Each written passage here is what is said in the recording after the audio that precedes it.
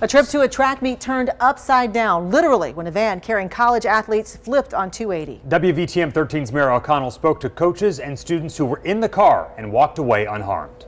I didn't even know really, you know, what happened. All I all I remember was just a big bang, and then people were screaming, and then I, I saw glass f- like flying in slow motion.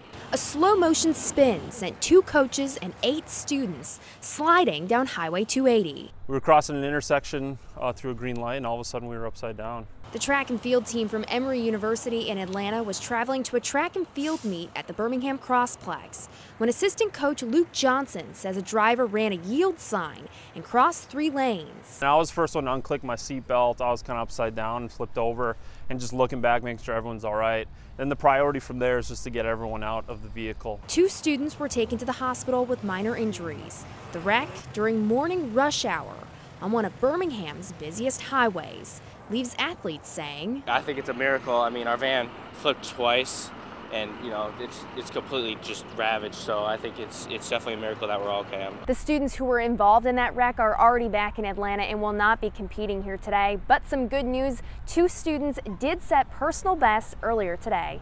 In Birmingham, Mary O'Connell, WVTM 13.